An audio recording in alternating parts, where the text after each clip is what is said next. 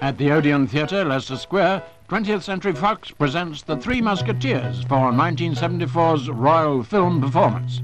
Richard Chamberlain plays Aramis, and here's Oliver Reed who plays Athos.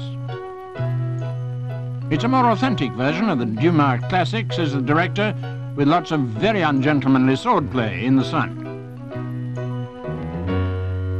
Frank Finlay, who plays Porthos, hides the scars of battle behind dark glasses.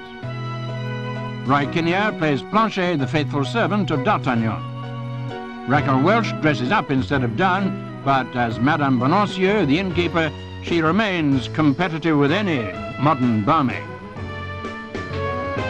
Spike Milligan plays Raquel's husband, Monsieur Bonacieux. Even more fun than in the book, of course. Prince of Terror, Christopher Lee, plays Rochefort, minion of the powerful Cardinal Richelieu.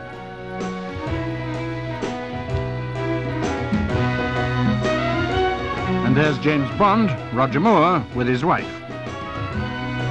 Michael York as D'Artagnan made the three four. Jean-Pierre Cassel, the only authentic Frenchman, plays King Louis XIII, while Geraldine Chaplin plays Queen Anne of Austria, a really permissive lady long before we invented a name for it. Spike admits to the Queen Mother he did it for the money.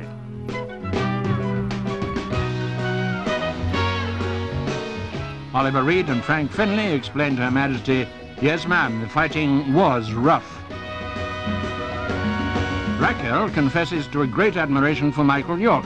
Well, what girl wouldn't? A film that's one for all and all for one.